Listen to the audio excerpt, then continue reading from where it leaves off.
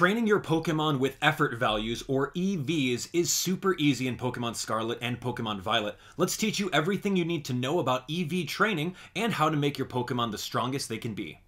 Welcome back everyone, it's Abdallah here with another exciting Pokemon Scarlet and Pokemon Violet tips and tricks tutorial video. Today is all about EV training. By the end of this video, you guys will become experts in everything effort values. We're going to show you exactly what effort values are. We're going to show you the fastest way of EV training your Pokemon. We'll show you exactly what items you can use in order to boost your training, and we'll show you the exact spots that you guys can train all of your Pokemon. So, it's going to be a great, informative, very awesome video for you, but it's going to be the first of two because we've got a lot to cover and it's going to spill into another video, so stay tuned for that one. If the video helped you out, be sure to smash that like button, turn on notifications so you don't miss the next upload. Anyway, let's jump on into it. All right, let's teach you guys about effort values or EVs in a very fun little diagram. And I've got some Pokemon cards that we're going to show you. Okay, so right over here is going to be a wild caught Pokemon out of nowhere. It's at level 50, for example. And then right over here, we have our Pikachu with a little fun crown. You can see that over here, that we've raised from the very beginning all throughout our adventures and battled thousands of Pokemon along the way. Now, naturally, if they're both at level 50 over here, this Pikachu is going to be stronger simply because it has a bunch of effort values gained from KOing Pokemon, versus this guy who's completely wild caught and has zero effort values. So, for the rest of our example, we're going to show you guys exactly what happened with this Pikachu. So, rewind it back to the very beginning of the game, and let's say he's our very first starter from Professor Oak, or whoever, in order to get this Pokemon going. So he has zero effort values. He's completely given to us and he's there. So let's actually use this right over this way. This is our Snorlax mug eh, to signify the entire container of how many effort values our Pikachu can actually hold on to. So right now it's empty. You can see over here, our Pikachu is just grabbed. He's we just got him in our adventure, so that means that he's got no effort values, no experience trained whatsoever. Now, with this entire container, every Pokemon can store up to 510 effort value points. And within there, every single one of those stats in the game HP, attack, special attack, defense, special defense, and speed can only go up to 252 per stat. So you think about it this way, right? Snorlax, as we're going up and filling all the effort values up over here, it can only hold 510, but 252 max in each stat. So it's up to you on how you want to build your specific Pokemon, right? Do you want to max out two of your stats and then a little bit extra into another stat? That's really up to you. And that's exactly what we're doing with our Pikachu here. So that's a great example. So let's take a look at exactly how this works out. So we have our Pikachu, which is right over here, and his effort values, right? Right off the bat. Okay, so here's a Magikarp that comes out of nowhere. Pikachu attacks the Magikarp. Boom. By doing that, you're going to gain one effort value point. Bing. And that's it. There we go. One out of 510. So here's another Magikarp that comes on by. Boom. Knocked him out with this Pikachu. Now we're going to get another effort value. Done. Easy peasy. Oh my gosh, a wild Larvitar. Super great. Let's knock it out with Pikachu. Boom. Just by doing that, we're going to gain one attack effort value point.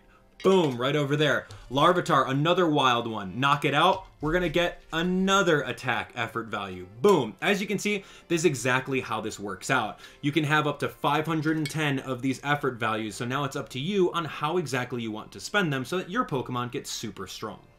So now you guys have a visual example of what effort values are. We're going to take a look at what it looks like within the game. As you can see over here, I've got a Dragonite that is a shiny version, and I've got a regular Dragonite as well that I use throughout the main story. With my shiny Dragonite, I wanted to EV train it in specifically what I wanted versus absolutely everything. So remember our Snorlax mug right over this way. I wanted to make sure that, that it had max attack and that it had max speed over here as well. So in order to do that, I just battled all the Pokemon that gave those stats. And if you take a look over here at the summary, you can see exactly that I did that. Uh, max attack sparkling over here, meaning I put 252 of these effort values right inside here. And then with speed, we did the exact same thing over there as well. 252 in speed. And then with the remainder of the six effort values, I threw that into HP. Super simple. That's all 510 allocated where exactly I want it in order to give it whatever max attack possible and max speed.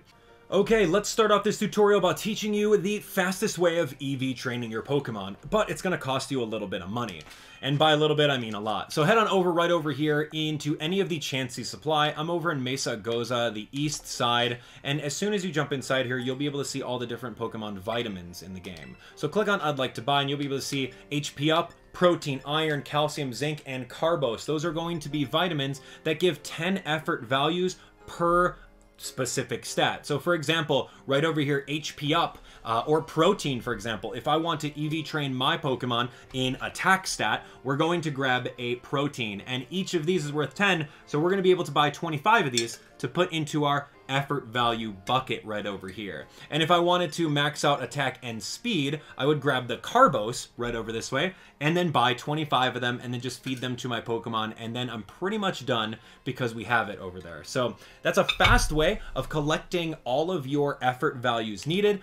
So buy some vitamins and sometimes you can come across them on the ground. So now you know exactly how to get all of the effort value vitamins within the game. We're going to show you guys exactly how to manually raise your Pokemon. So this one's going to be super easy with the help of power items and we're going to use these Pokemon cards again. Let's pretend that this is a power item over here. So normally when you have your Pikachu against any other Pokemon that you knock out, boom, you knock out a Magikarp, you singular get one speed effort value point to go inside right over here. Now, let's say for example, we equip Pikachu with a power item. Not only are we going to knock out a Magikarp for one of these EVs, but the power item is going to give an additional eight. So we have a boatload more of these every single time for a total of nine every Magikarp that we knock out. Power items are super good, so let's show you guys exactly where to find those.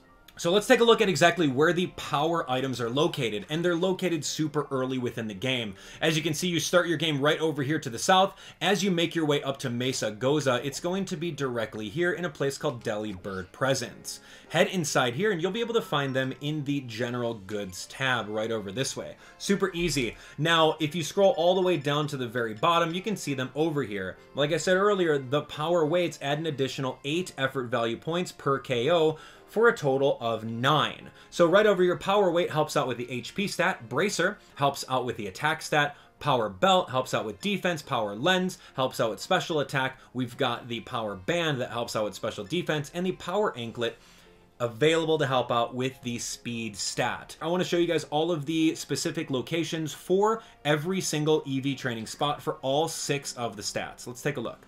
If you're looking to train HP, equip your power weight on your Pokemon so that it'll gain an additional 8 EVs in HP for every battle. Head back to the beginning of the game by the Poco Path Lighthouse and look for Lechonk or Azurill found in the areas nearby. If you want to boost their encounter rates, feel free to make sandwich number 80, the ham sandwich, for the normal encounter level 1. Proceed to battle as many of these as you want in order to gain HP EVs. Now, if you're looking to train attack, equip your Power Bracer on your Pokemon so that it'll gain an additional 8 EVs in attack for every battle. Head back to the beginning of the game by the Poco Path Lighthouse and look for Yungoos found in the Inlet Grotto. All you have to do there is battle as many of them as you want. If you want to boost their encounter rates, go ahead and make sandwich number 80 the ham sandwich for the normal encounter level 1. Now, if you're looking to train defense, all you have to do is equip the Power Belt on your Pokemon so that it'll gain an additional 8 effort values in defense every battle. Head back to the beginning of the game by the Poco Path Lighthouse and look for Tarountula or Scatterbug found in the nearby areas. If you want to boost their encounter rates, feel free to make sandwich number 84, the cheese sandwich for the bug encounter level 1, and proceed to battle as many of these as you want in order to gain all those defense EVs. Now, if you're looking to train for special attack, equip the power lens on your Pokemon so that it'll gain an additional 8 EVs in special attack for every battle. Head back to the beginning of the game by the Poco Path Lighthouse and look for Houndour, found in the Inlet Grotto. If you want to boost their encounter rates, feel free to make sandwich number 20, the Pickle Sandwich, for Fire Encounter Level 1, and proceed to battle as many of these Houndours as you want in order to get as much special attack as possible. Now for special defense, equip your Power Bracer on your Pokemon so it'll gain an additional 8 effort values in special defense for every battle. Head back to the beginning of the game, by the Poco Path Lighthouse, and look for Hoppip found in the areas nearby. If you want to boost their encounter rates, feel free to make sandwich number 104, Cloth Claw Sandwich, for Grass Encounter level 1. And knock out as many as you can for these special defense EVs. Lastly, if you're looking to train for speed, equip your Power Anklet on your Pokemon so that it'll gain an additional 8 EVs in speed for every battle. Head back to the beginning of the game by the Poco Path Lighthouse and look for Diglett found in the Inlet Grotto. If you want to boost their encounter rates, feel free to make sandwich number 1, Jambon-Beurre, for the Ground Encounter level 1, and proceed to battle as many of these as you want in order to gain those speed effort value points. Okay, now that you've gone through and EV trained your Pokemon, all 510 effort value points, head on over here. We're over in Levincia right over here, home of Iono, of course. Now, what we'll have to do is head straight over to behind the gym, and there's an NPC right over this way that we can use in order to get our Pokemon an effort ribbon.